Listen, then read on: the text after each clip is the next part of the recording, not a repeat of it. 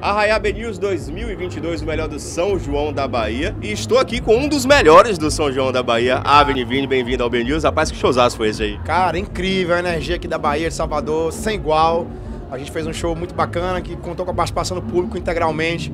Nós não somos nada, somos nada sem vocês, com essa energia maravilhosa. O povo cantou, dançou, se emocionou, chorou. Foi incrível, cara.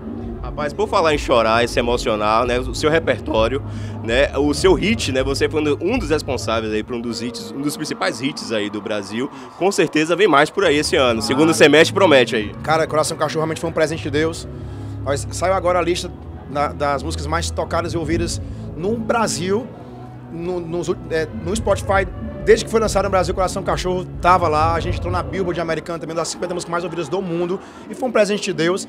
A gente tá regravando outros hits. Acho que mês que vem tá saindo música nova com algumas participações especiais, que eu tenho certeza que o público baiano vai adorar também. Pois é, por falar em público baiano, só pra gente encerrar, não sei se você já conhece o Carnaval de Salvador, mas queria saber se você toparia de repente, quem sabe aí, puxar um trio aí no ano que vem no Carnaval aqui de Salvador. Se esse é um dos seus sonhos, de repente. Claro, eu não tive a oportunidade de puxar um trio aqui em Salvador, a gente sempre tá aqui nos camarotes fazendo um show muito bacana, mas o trio em Salvador é um sonho realmente.